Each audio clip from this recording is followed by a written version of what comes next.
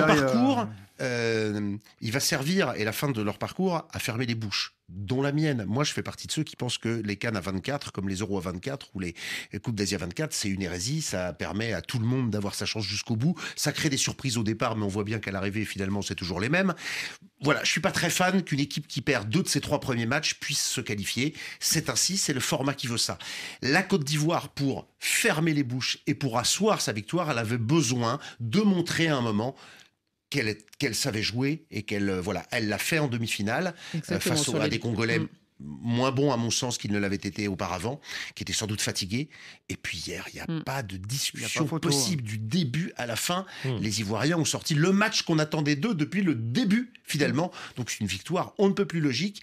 Et voilà, et on est rassuré, on se dit, il y a quand même un beau champion, et c'est pas le champion de raccro, parce que c'est ainsi qu'on les aurait qualifiés il y a, il y a 10 Mais la finale, elle n'est pas à l'image de leur tournoi. Si ah vous arrivez, vous tombez comme ça, on vous dit c'est la finale de la Coupe d'Afrique des Nations, mhm. vous imaginez que c'est une très bonne équipe pendant mhm. tout le tournoi. Si vous n'avez ah regardé que le match d'ouverture et le match de la finale, vous dites bon, ils sont baladés. Bah, je, pense que les Sénégalais. Ça a été une, c'était une vase balade de santé. C'est une fumisterie cette Coupe d'Afrique. Je pense que face aux Ivoiriens, je pense que les Sénégalais doivent commencer à dormir un peu mieux. J'aimerais pas être malien.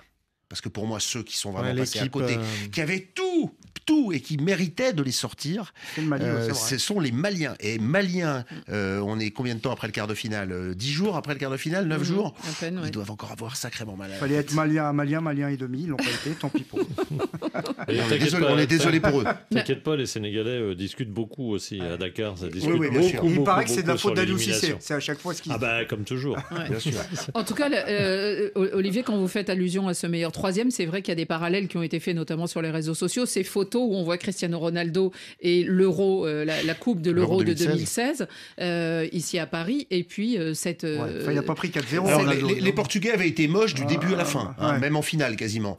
Encore une fois, les Ivoiriens ont été bien meilleurs en, demi et surtout hier en finale. Mais ils n'avaient pas pris 4-0. Oui, voilà, ils, avaient fait trois matchs nuls. Ils n'avaient pas perdu deux, ils n'étaient pas, en perdition. Ils n'étaient pas en perdition comme l'équipe de Côte d'Ivoire nous l'a laissé penser. Ils n'ont pas changé d'entraîneur en cours de route ils n'ont pas changé d'entraîneur en cours de route. Donc il y, y, a quand même une rareté. Ils n'avaient pas cherché à appeler le, le parcours de la, non, le parcours non non plus.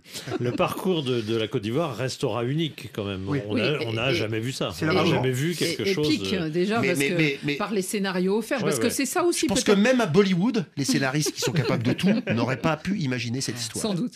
Alors on va y venir sur l'ensemble après de la compétition, mais quand même sur euh, ce qui était du match et des joueurs. C'est aussi, on peut se dire, une finale à tiroir, à tiroir de, de belles histoires, des petites histoires dans, dans, les grandes. Et évidemment, ce but euh, du bout du pied hein, qui a assuré à Sébastien Allaire euh, la reconnaissance éternelle, sans doute, de la patrie. Une, et Ibra. Il a fait une Ibra. Il a fait deux Ibra, moi, je dirais. La, la jambe à ce niveau-là. Parce que, mais, mais, Philippe, le, le, but de demi-finale est aussi hein, dans, dans, dans, cet esprit-là. C'est du Ibra. En tout cas, lui, euh, il, a, il avait pris le train en marche dans cette canne, hein, arrivé blessé. Il a, il a commencé à jouer dès la phase éliminatoire, c'est-à-dire qu'il n'a pas joué avant, euh, dès le début. Euh, c'était contre le Sénégal et il n'était pas titularisé. Il a fini par l'être sur les deux derniers matchs. Mais après la rencontre, vous allez l'entendre au micro de Martin Guez, il avait encore du mal à réaliser qu'il était devenu champion. C'est comme dans un rêve, comme je l'ai dit plusieurs fois, on l'a rêvé ce moment, on l'a ressassé et, aujourd'hui c'est réalité. Donc c'est difficile à sortir de ce rêve, mais, mais, c'est bien la réalité. Il y a eu beaucoup de doutes quand même. Après la saison dernière, tout ce qui s'est passé, euh, que ce soit d'un point de vue personnel, que ce soit avec le club, ça a été très dur à, gérer mentalement. Donc euh, aujourd'hui, le fait de pouvoir avoir un succès et d'y avoir participé, forcément, ça, fait du bien à, ça fait du bien à l'ego, ça fait du bien à l'homme, ça fait du bien à toute la famille et ça fait du bien à tout un pays aujourd'hui. Donc euh, c'est juste exceptionnel. Un numéro 9 euh, sans doute revenu à, pic, Franck, dans la compétition pour, pour offrir tout son talent et, des buts aux éléphants.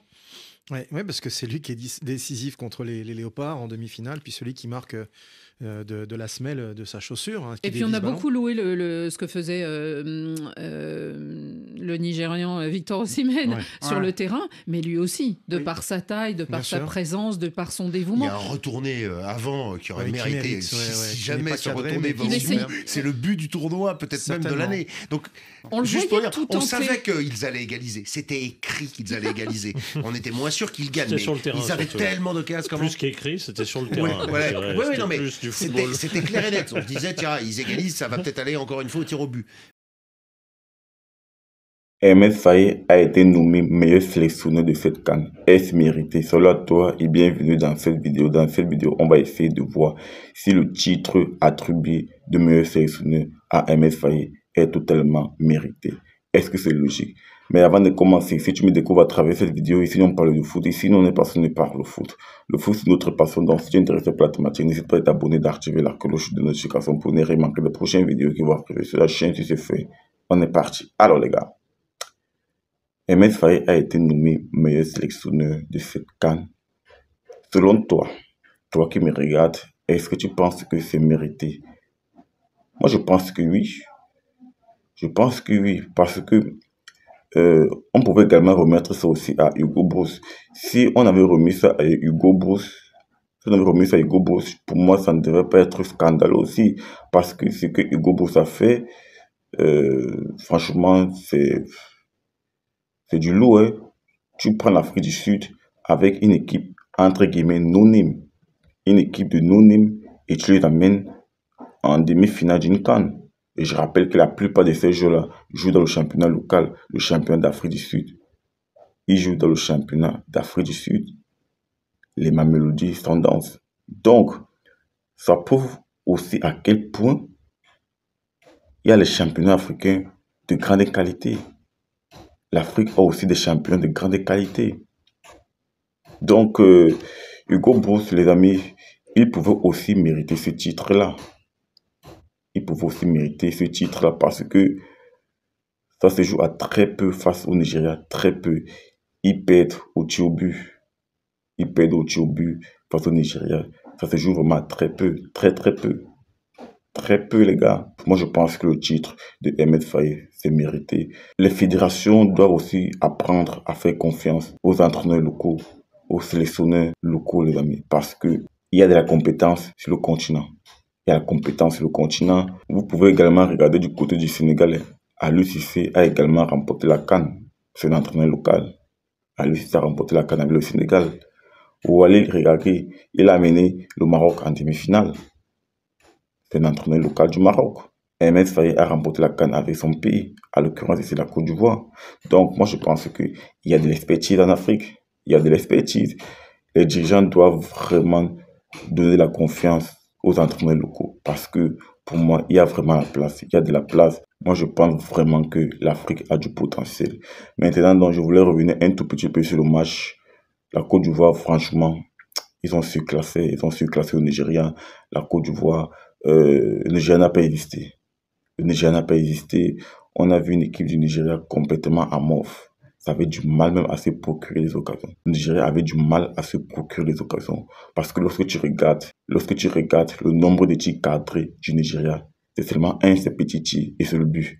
Un seul petit tir cadré. Pendant ce temps, la Côte d'Ivoire en a 8, 8 tirs cadrés. Lorsque tu regardes dans la possession, la Côte d'Ivoire, c'est 63% de possession. 63% de possession. Pendant ce temps, le Nigeria, c'est 37. Donc, euh, dans tous les compartiments du jeu, euh, la Côte d'Ivoire a vraiment dominé le Nigeria. Donc, pour moi, c'était une finale, c'était une finale à sens unique, à sens vraiment unique. Quand je dis à sens unique, c'est vraiment à sens unique. Le Nigeria, je ne sais pas si c'est la Côte d'Ivoire qui était trop forte ou bien c'est le Nigeria qui était à bout de souffle. Je n'en sais pas. Le Nigeria n'a rien proposé, rien proposé dans le jeu, rien, absolument rien.